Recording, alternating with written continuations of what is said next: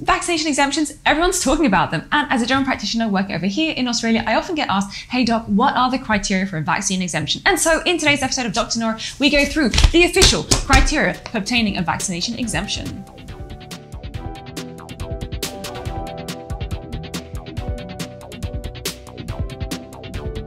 And so we're going to go through this two-page document, so it's not too long. We're going to take a look at what are the criteria for a temporary exemption. Now, it is important to know that these temporary exemption measures can only be performed by a medical practitioner practicing in Australia. As a background, it says that COVID-19 vaccinations have been demonstrated to be safe and effective, and as such are recommended for all Australians from 12 years and over.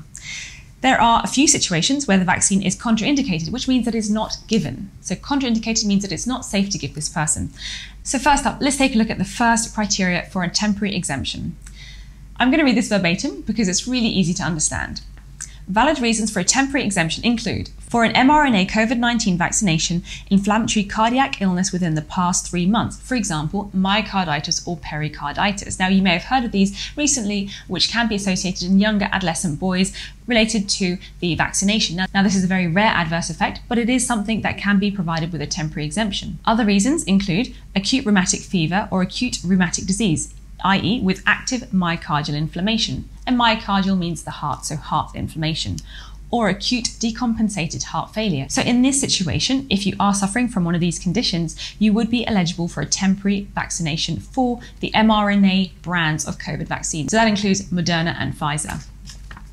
So, for all of the other COVID vaccinations, here are the other temporary exemption criteria.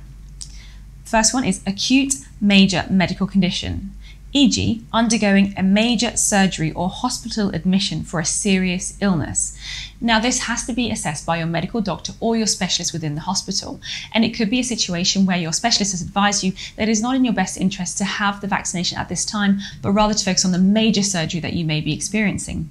And typically, these are time limited conditions, i.e., you're going to have them for a period of time, and after which period of time you can then have the vaccination safely. The second point is PCR confirmed SARS CoV 2 infection, where vaccination can be referred until six months after the infection. So that means that if you've been tested to be positive for COVID through a PCR swab, you can have the vaccination deferred until six months after the infection. Vaccination should be deferred for 90 days in people who have received monoclonal antibody or convalescent plasma therapy, which are typically administered in the hospital. So, if you have been to hospital and you've been admitted and you've received some sort of treatment, such as monoclonal antibodies or convalescent plasma therapy, then your vaccination can be deferred for 90 days. Next up, any serious adverse event attributed to a previous dose of a COVID 19 vaccine without any other cause identified and with no acceptable alternative vaccine available. For example, a person aged under 60 years of age who is contraindicated to receive Pfizer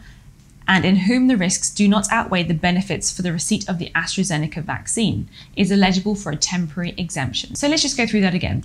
So, for example, if you are not able to take the Pfizer vaccine because of one reason or another, it's not been indicated in yourself, perhaps you've had an anaphylactic reaction to the vaccine, and because of your age, you're unable to take another form of the vaccination, you are also deemed as being eligible for a temporary exemption to the vaccination. Next up, if the vaccine is a risk to themselves or others during the vaccination process, they may warrant a temporary vaccine exemption. This may include a range of individuals with underlying developmental or mental health problems, but noting that non pharmacological interventions can safely facilitate vaccination in many individuals with behavioral disturbances, and that specialist services may be available to facilitate the safe administration of vaccines in this population. So, to read that again, that means that if the person who's receiving the vaccine has got is, a, is at a risk to themselves or others whilst they're having the vaccination, they may warrant a temporary exemption. However, in such patients who might have a developmental issue or a mental health issue, if there are non pharmacological interventions that can safely facilitate the vaccination, then that usually tends to allow them to have the vaccine. And typically, these patients will need a specialist service to aid the facilitation of this vaccination. So those were the official criteria as to why you can have a temporary exemption. Now, temporary exemptions, as I said earlier, can only be administered by a medical professional or perhaps even a specialist. So it might be that your doctor, your general practitioner, has referred you to another specialist to have a look, for example, at your heart, for example, a cardiologist, who may then do those assessments and see if you do have myocarditis or pericarditis, and then they then can provide you with your temporary exemption. Or it may be that your general practitioner may refer you to a psychiatrist who can then assess your mental health and see whether or not you are eligible to have a temporary exemption. Of course, these are all things that need to be looked at very carefully and according to the current criteria. Now let's take a look at the duration of the temporary exemptions. So temporary exemptions for longer than six months are not recommended in the first instance, as they should be reviewed as the individual recovers from their acute major medical illness. So that means that if you have been referred to a cardiologist and you have been diagnosed with pericarditis or myocarditis, you will be reviewed sequentially to see if you have recovered from the disease or the illness and whether or not you should still be having a temporary exemption or whether it's now safe enough for you to have the vaccination and therefore protect you from COVID 19 infection. Okay, so that sums up the temporary exemption criteria as per the Australian Technical Advisory Group on Immunisations. Now let's take a look at the other document that I have in front of me, which is directly from the Australian Government Department of Health, which looks at contraindications, i.e., situations where we definitely should not provide a person with a vaccination. So the contraindications or reasons for us not to provide a person with a Pfizer or a Moderna vaccination, i.e., a mRNA vaccination, are as follows. So, a contraindication to one of the mRNA COVID 19 vaccines should be considered a contraindication to the other COVID 19 vaccines made with that vaccine platform. For example, a person who is contraindicated for Pfizer would also be contraindicated for Moderna. So, here are the reasons why you can't have an mRNA vaccination. The first one is anaphylaxis to a previous dose of an mRNA COVID 19 vaccine, for example, Pfizer or Moderna. What does anaphylaxis mean? Well, anaphylaxis, you may hear of people who've got a peanut allergy or even allergies to certain compounds in, in food or, or even um, cosmetic products, what happens when we have anaphylaxis is our body swells up. It has a huge histamine response. Generally, people, this is a really serious and life threatening condition. And generally, people who suffer from anaphylaxis will have facial swelling, tongue swelling, and they won't be able to breathe. And this becomes an acute medical emergency. These people need to be triaged hospital ASAP, have medication to help to reduce the swelling down and to help them to breathe again. So for anybody who has had an anaphylactic reaction whereby their facials, their face is swollen up, their tongue is swollen up, they're unable to breathe, they've had to go to hospital to receive treatment for this, they are contraindicated or they're not allowed to have a further dose of an mRNA vaccination if the reaction has happened after their first mRNA vaccination.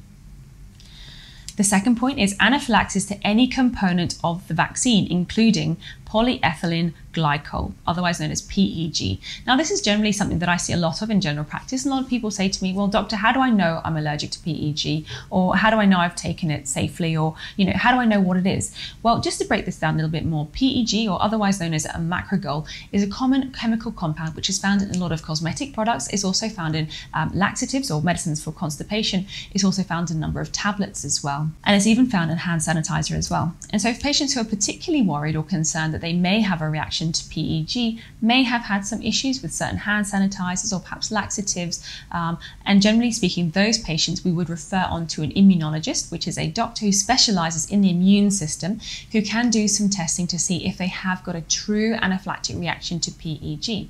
So if you think this is an issue for yourself, it might be worthwhile speaking to your medical doctor because they can then arrange for you to speak to a specialist to decide if you need to have any further testing for PEG. And what it does go to say on the next page of this documentation is that it says anaphylaxis to PEG is reported to be extremely rare.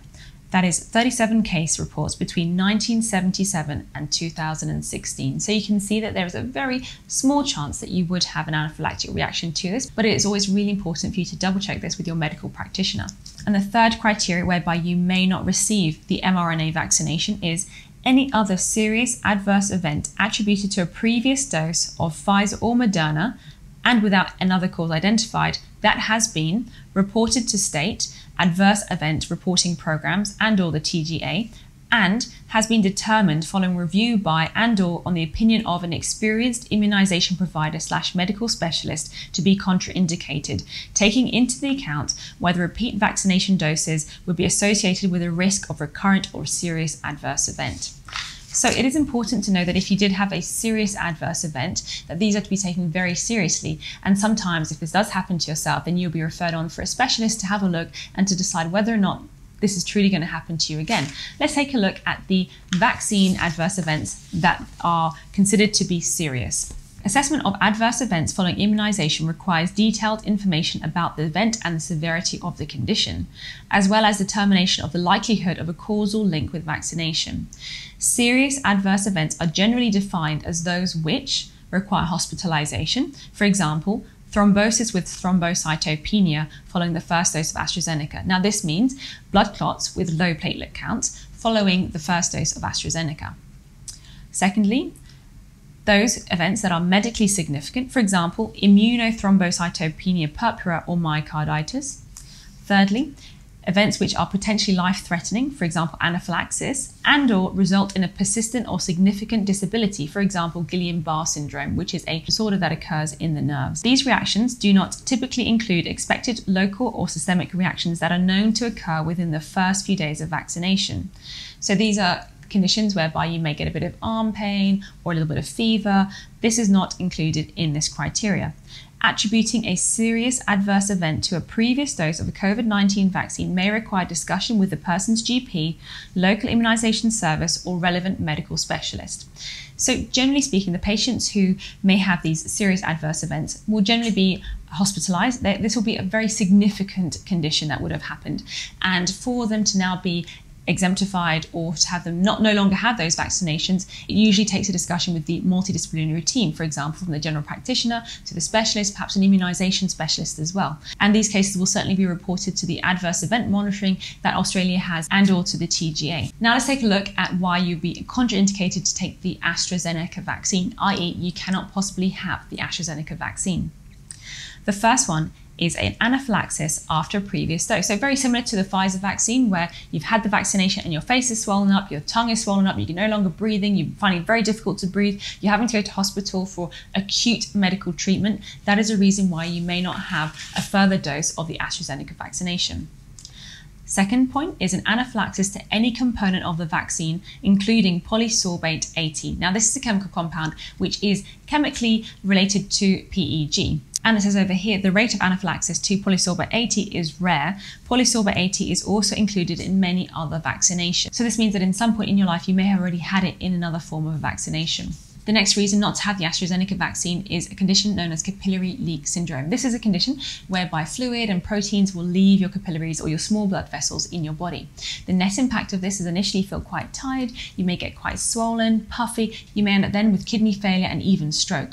Now it's important to know that this condition is also quite rare and it affects about one in a million people. The next reason not to have the AstraZeneca vaccine is thrombosis with thrombocytopenia. Now we spoke about this before. This is a condition whereby you've had the vaccination, you develop a blood clot on the background of having a low platelet count. Now, generally speaking, this will be a condition that is diagnosed in hospital, um, or your general practitioner may perform a blood test just to follow you up after you've had your blood clot.